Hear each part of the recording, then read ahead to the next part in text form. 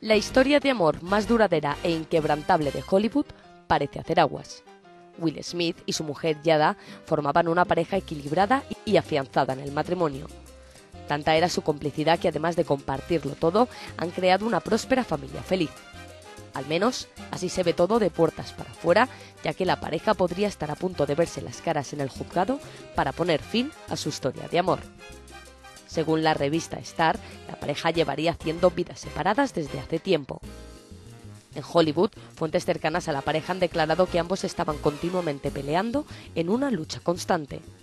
Por lo visto, una de las grandes razones de sus disputas es que Will siempre está de fiesta con sus amigos. Un amigo de la pareja ha confesado que Will y Yada están manteniendo las apariencias porque les preocupaba que el divorcio perjudicase sus carreras, pero que ya no lo aguantan más.